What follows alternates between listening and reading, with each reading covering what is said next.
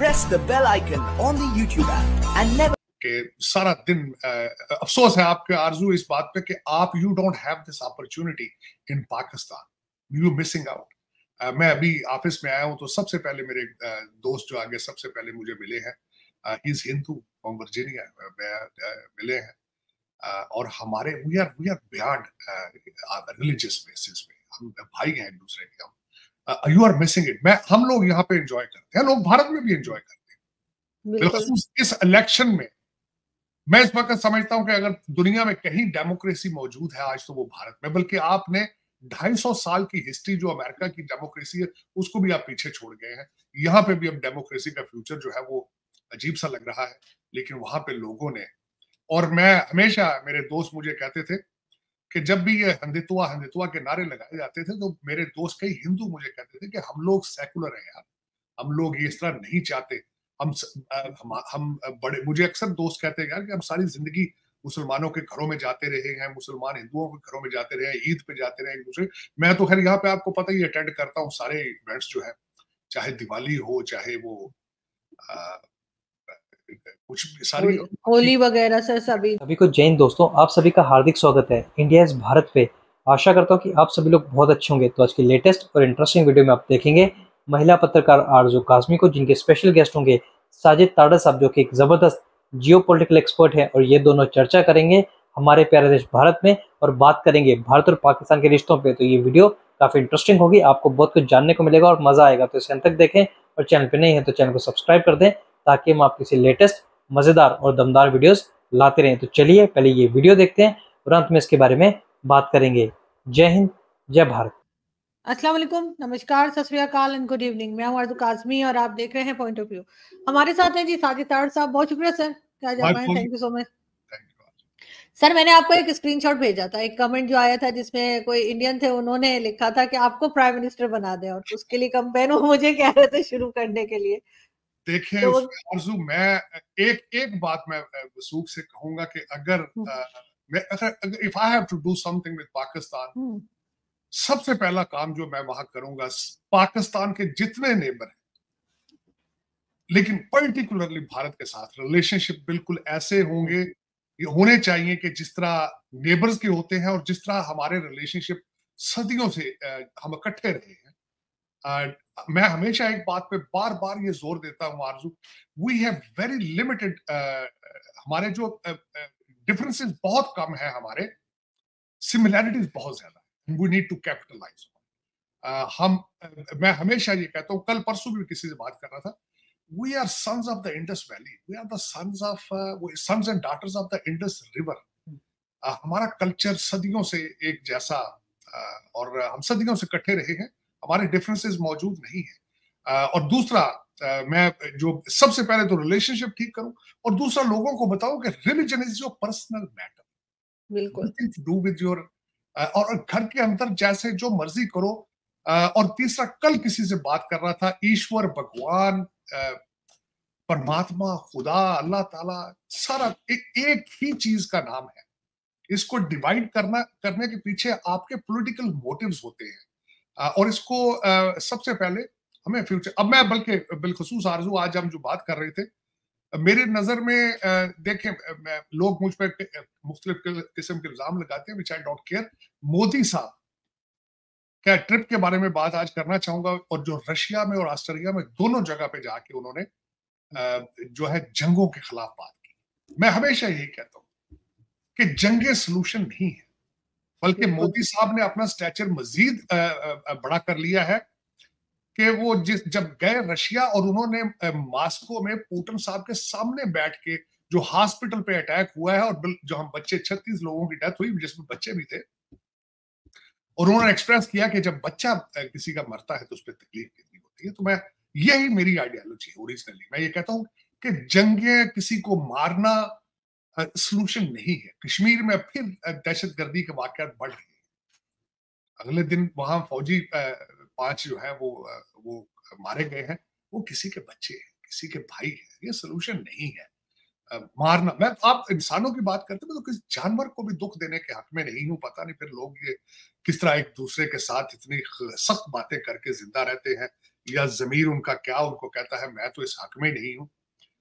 मैं आप सोच नहीं सकते कि सारा दिन अफसोस है आपके आरज़ू इस बात पे कि आप you don't have this opportunity in Pakistan you missing out मैं अभी ऑफ़िस में आया हूँ तो सबसे पहले मेरे दोस्त जो आगे सबसे पहले मुझे मिले हैं। इज़ हिंदू फ्रॉम वर्जीनिया मिले हैं। और हमारे we are we are beyond religious basis पे। हम भाई हैं एक दूसरे के। हम यू आर मिसिंग इट मैं हम लोग यहाँ पे एंजॉय करते हैं। लोग भारत में भी एंजॉय करते हैं। इस इलेक्शन में मैं इस वक्त समझता हूँ कि अगर दुनिया में कहीं डेमोक्रेसी मौजूद है आज तो वो भारत में बल्कि आपने ढाई सौ साल की हिस्ट्री जो अमेरिका की डेमोक्रेसी है उसको भी आप पीछे छोड़ गए हैं। यहाँ पे भी अब डेमोक्रेसी का फ्यूचर जो है वो अजीब सा लग रहा है। लेकिन वहाँ पे लोगों ने और मैं हमेशा मेरे दोस्त मुझे कहते थे कि जब भी ये हिंदुत्वा हिंदुत्वा के नारे लगाए जाते थे तो मेरे दोस्त कई हिंदू मुझे कहते थे कि हम लोग सेकुलर है यार।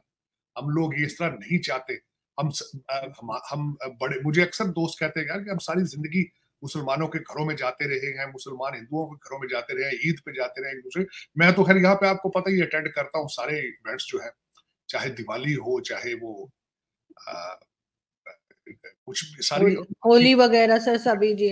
यहाँ पे हम बैसाखी हम्म। मनाते हैं सब इकट्ठे हैं ईद पे इकट्ठे होते हैं मेरी बल्कि वाइफ हमेशा सवैया बनाती है और मैं सब अपने दोस्तों के लेके जाता हूँ सब एंजॉय करते हैं बिलखसूस। वो मेरे डैडी नहीं है मैं उनको डैडी कहता था मेरे जसदीप के जो वालद हैं डैडी उनको मैं वो भी डैडी कहते हैं मैं भी डैडी अपने बाप की तरह समझता तो वो उनको हमेशा सारी ज़िंदगी सवैया और जरदा चावल बहुत पसंद थे और मेरी बीवी खासकर उनके लिए बनाती थी मैं मिस करता हूँ। आज सुबह मैं बर्फ़ी खाने लगा हूँ तो मैं उनको मिस कर रहा था वो बर्फ़ी किसी ने मुझे पाकिस्तान से ला के दी। तो मैं वो खाने लगा एक डली मैंने रखी तो मुझे फ़ौरन याद आया। वो फौत हो चुके हैं। लेकिन मैं सबसे भी आज भी जो चीज़ें याद करता हूँ और हमेशा उनको मैं मैं जब भी पाकिस्तान से अमेरिका से बाहर गया तो सिंस मैं he was my father figure मैं उनके हमेशा पाँव छू के जाता था वापस आके उनके पाँव छूता था। मुझे हमेशा वो बेचारे बीमार हो गया आखिरी अरसे में तो मुझे हमेशा कहते थे ये पाकिस्तान मेरा मेरा ये मेरा पुत्र पाकिस्तान का राजा है मुझे हमेशा कहते थे। और मैं ये मेरे मैं समझता हूँ मैं वेरी लकी कि मैं अमेरिका में आके ये सारी चीज़ें सीखी देखी कि रिलीजियस बेसिस पे एक दूसरे बल्कि किसी बात पे भी नफरत नहीं होनी चाहिए बिलखसूस फेथ बेस कि किसी से नफरत हो कि यार तुम्हारा मज़हब कोई और तो ये ये, मैं इसको इसको डेफिनेटली ना रिकमेंड करूँगा। प्लीज़ अपने दरवाजे खोलें, अपने दिमाग के दरवाजे खोलें, आसपास देखें और लोगों से प्यार करना सीखें। दुनिया का हर मज़हब आपको यही बता रहा है कि अगर मेरे तक पहुँचना है तो मेरे लोगों के ज़रिए आके पहुंचो। इनसे इनसे प्यार करोगे तो आप रिगार्ड कोई भी मज़हब मैं समझता हूँ। कल परसों मेरे साथ बल्कि किसी ने डिबेट करने की कोशिश की जो कि पाकिस्तानी माइंडसेट से थे। तो जब हम बात कर रहे थे को टेक्सला की और कुछ और स्कॉलर्स की ये चीज़ें तो उसने कहा, भाई, तुम बात हमेशा टेक्सला की बात करते हो। बहुत बड़ी सिविलाइजेशन थी।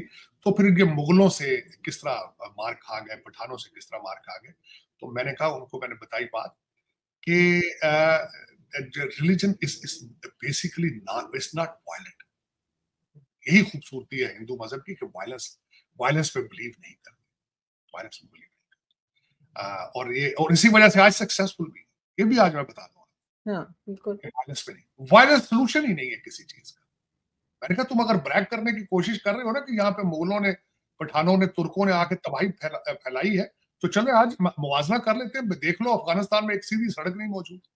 हम्म। एक सीधा पुल वहाँ पे मौजूद। हम्म। और साठ साठ साठ साठ साठ साल के बाबे हैं। वो दस दस साल की बच्चियाँ खरीद रहे हैं शादियाँ कर रहे हैं बाप खुद बेच रहे हैं। If you think this is civilization और दिस इज़ एन आंसर और दूसरा दो बिलियन मुसलमान हो दुनिया में बता लो। या तुम तुम्हें दूसरे कोई और आपको दबा रहे हैं मार रहे हैं कत्ल कर रहे हैं या आपके अपने लोग आपको दबा रहे हैं कत्ल कर रहे हैं आपके अपने लोग। मैंने कहा तुम दिलेरी ठीक है मैंने कहा तुम ब्रैक करना चाहते हो। तुम एक ऐसे मुल्क के बाशिंदे हो जिसका बजट अमेरिकन बना रहे हैं। तुम विनर अपने आप को समझते हो तो ठीक है। मैं गुड लक आप you are winner in my eyes लेकिन तुम्हारा बजट अपने कंट्रोल में नहीं है। अमेरिकन अमेरिकन बना रहे हैं आपका बजट अपनी मर्ज़ी से। अपनी शर्तों पे बिल्कुल। कंडीशन उनकी है। बिक चुके हैं। आपके गुर्दे बिक चुके छोटी सी बात आज बल्कि इसके बाद हम चलते हैं। आज शबाज शरीफ साहब ने डायरेक्ट बात की है आईएमएफ के साथ अमेरिकन के साथ। वो कैसे वो भी बता देते आज उन्होंने इंग्लिश में एक तकरीर की और सिर्फ़ उसकी वजह ये थी क्योंकि पाकिस्तानी लौटाना पड़ा तो उस इंग्लिश का एक लफज नहीं जानता ना तो हम्म। जब उन्होंने इंग्लिश में स्पीच दी तो वो सिग्नल दे रहे थे आईएमएफ को और सिग्नल क्या था उन्होंने कहा जी मैं 90 डेज़ देता हूँ अपने मिनिस्टर्स को इंग्लिश हम्म। में कहा फरमाया उन्होंने हम्म। मैं 90 डेज़ देता हूँ इसके बाद अगर या मैं आपकी मिनिस्ट्री बंद कर दूँगा या फिर आपका हाँ। आपको मिनिस्टर चेंज कर ये सिर्फ़ और सिर्फ़ उन्होंने एड्रेस किया है अमेरिकन को कि छह बिलियन डॉलर का सवाल है बच्चे लंदन में भूखे बैठे और उन्होंने ये भी कहा कि जो उनके मिनिस्टर्स और जो सरकारी ऑफिशियल्स होंगे वो जी इकोनॉमी में ट्रेवल करेंगे। मैंने कहा भाई टिकट बंद करें। इकोनॉमी में भी क्यों ट्रेवल करेंगे? सत्रह सत्रह टिकट इनको मिलते हैं सर आरज़ू मेरी मेरा दुख अगला दोस्तों आशा करता हूँ कि वीडियो को आपने अंत तक देखा होगा और हमेशा की तरह आरज़ू काजमी जी और साजिद ताड़ा साहब का पूरा डिस्कशन और इनकी पॉजिटिव बातें आपको काफ़ी पसंद आएँगी जहाँ पे इन दोनों ने ना सिर्फ़ भारत की तारीफ़ की, बल्कि हिंदुओं की तारीफ़ भी की। और साजिद ताड़ा साहब ने यह भी बोला कि जो सनातन धर्म है, यानी हिंदुइज्म है, वो एकदम नॉन वायलेंट है, यानी कि अहिंसक है। ये बिल्कुल सच है। और आप देख रहे हैं कि कैसे साजिद ताड़ा साहब जो खुद अमेरिका में रहते हैं और भारत आते रहते हैं, वो भारत को कितने अच्छे से जानने लगे हैं। तो आशा करता हूँ, वीडियो आपको काफ़ी पसंद आई होगी, जहाँ पे इन दोनों ने ना सिर्फ़ बात की हमारे प्यारे देश भारत के बारे में, बल्कि चर्चा की भारत और पाकिस्तान के रिश्ते कैसे बेहतर हो सकते हैं। तो इसके बारे में आपके क्या विचार हैं? आप अपने विचार हमें कमेंट सेक्शन में लिखकर ज़रूर बताएँ और एक बार फिर चैनल पे नहीं है तो चैनल को सब्सक्राइब कर दें ताकि हम आपकी लेटेस्ट इंटरेस्टिंग और दमदार वीडियोस लाते रहें। तो चलिए, फिर मिलेंगे ऐसी किसी ज़बरदस्त और मज़ेदार वीडियो में। तब तक अपना ध्यान रखिए। जय हिंद, जय भारत।